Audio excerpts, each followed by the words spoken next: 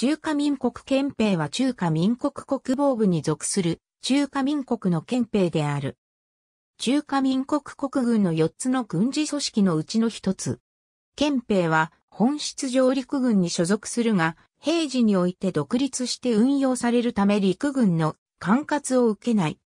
そのため、憲兵司令部が直接管轄することで、どこにも隷属されないので憲兵司令の大多数は、憲兵会外の出身者で陸軍からの転属もいる。憲兵隊員参考資料、中華民国国防部海軍司令部もページは97年国防白秘書、太字は、憲兵司令部が統括する組織。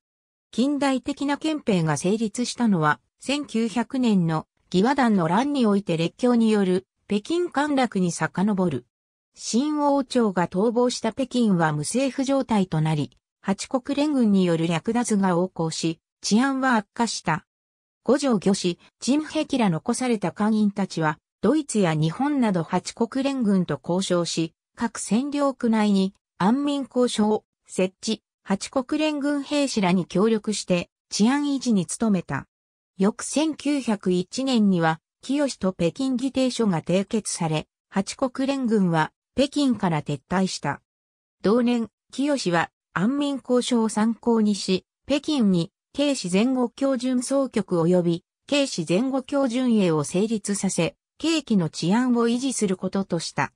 また、緑営、防衛を解散し準経営を設置。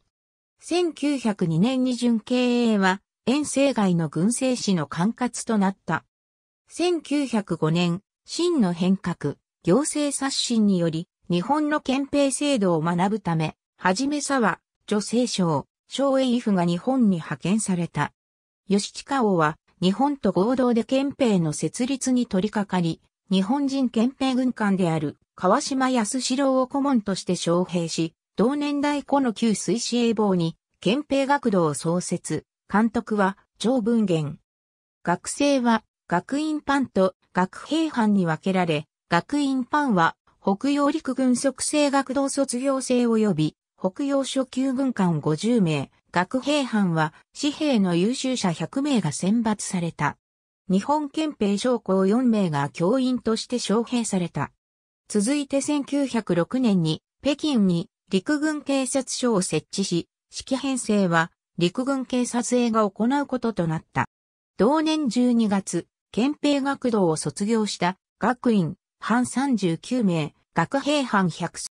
1908年11月、憲兵学堂は陸軍部の管轄となり、陸軍警察学堂に改称された。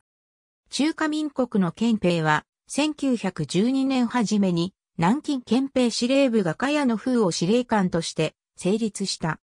1914年に、孫中山が軍事基地の需要があった甲州に大本営を創設し、小解析は教育を拡大し、憲兵を正式に編成し、1932年に憲兵司令部を成立。